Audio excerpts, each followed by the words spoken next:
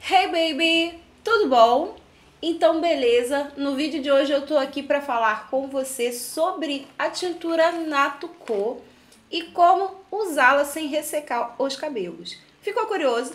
Então assiste esse vídeo até o final. Solta a vinheta!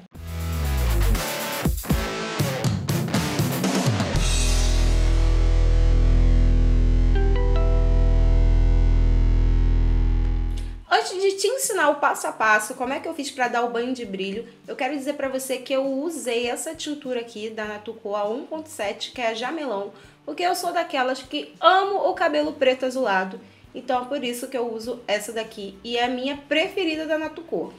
Mas existe também outras tonalidades de preto e muito mais opções da Natuco. Dentro da caixinha vem quatro itens e um deles é esse potinho que é a tintura, onde você vai usar para estar tá medindo a quantidade de água que você vai usar na sua tintura. Então, agora que você já sabe como medir a quantidade correta de água para fazer a sua Natco e ficar no ponto certo, vamos aprender como é que eu, a Pitu, usa o banho de brilho com a Natco. O passo a passo é muito simples. Vamos pegar esse potinho que eu estou mostrando agora, que tem a tintura, e passar todo o conteúdo dele para um pote de vidro ou plástico. Não pode ser de jeito nenhum um pote de metal.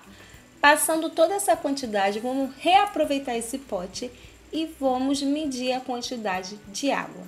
São três potinhos desses de água potável para cada natucor.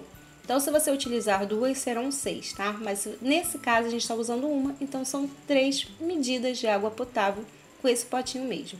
Mistura bem, mistura bastante, fica uns três minutos misturando para fazer esse efeito aí.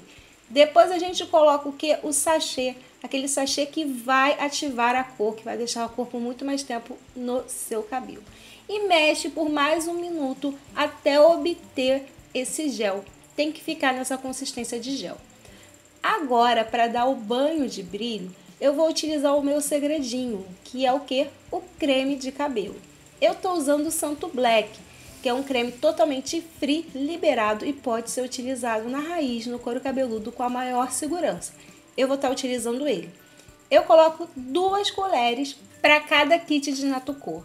Depois eu vou pegar, vou passando primeiro na raiz com auxílio de um pincel. Se você não está acostumada a fazer tintura no seu cabelo, você divide o cabelo em quatro partes iguais e vai soltando as mechas e aplicando aos poucos. Passa bastante tinta na raiz mesmo, gente, porque aí é a parte mais clara, é onde que a gente precisa tomar o maior cuidado para pigmentar o cabelo. Após isso, chegou a hora do que da gente colocar no cabelo inteiro e ir massageando o couro. É necessário fazer essa massagem para a tinta espalhar muito bem nos fios e ter a cobertura total do máximo de vídeo possível que a gente tem na cabeça.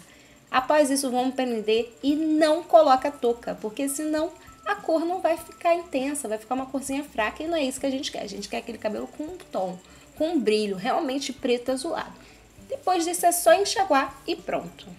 Então, baby, gostou do vídeo? Não esqueça de dar o seu curtir, inscreva-se aqui no canal me segue também no meu Instagram, arroba Roqueira Vaidosa, eu quero você por lá. E usa a hashtag Roqueira Vaidosa, assim eu posso saber como é que ficou a aplicação da Natucor nos seus fios. Não esqueça também de passar lá no blog roqueirivaidosa.com para saber as propriedades, tá tudo direitinho lá no blog, todo passo a passo escrito para você acompanhar caso você retoque e não possa estar tá assistindo o vídeo. Então é isso, um super beijo da Pitu, até a próxima, tchau!